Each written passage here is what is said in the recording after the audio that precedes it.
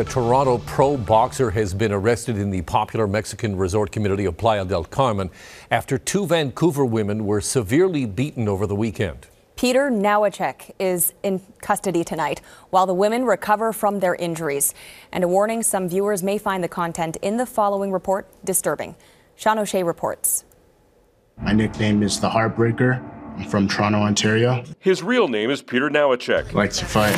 Two years after turning pro, this 27 year old Toronto boxer is now in trouble in Playa del Carmen, Mexico, after two Vancouver women were beaten badly on Saturday night.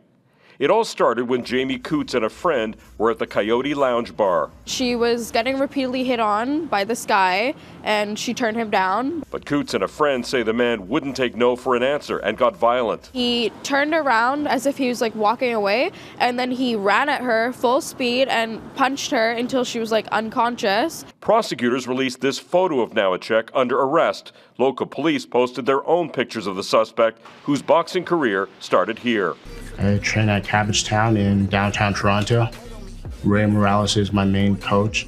Morales ran the Cabbagetown Boxing Club off Parliament Street. The youth center where it's based has been closed for a year because of termites. But Morales is still active. In fact, he's Nowaczeck's trainer. We tracked him down in Mexico. I know what you call it, but at this point I have no comments. Okay, are you still working with the with the boxer? I'm just acting right now as a friend for him.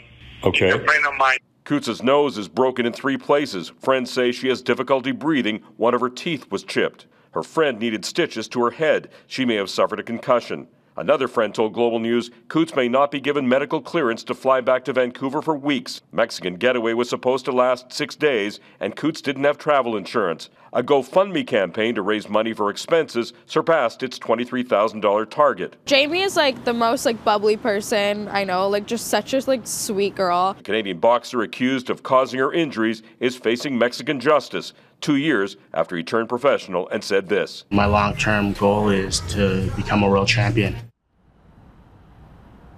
We spent the afternoon back and forth with Mexican prosecutors.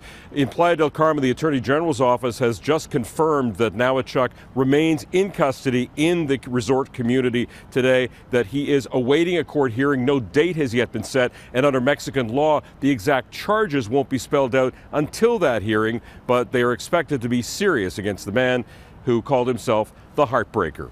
Tracy. Just a disturbing story. Thank you, Sean.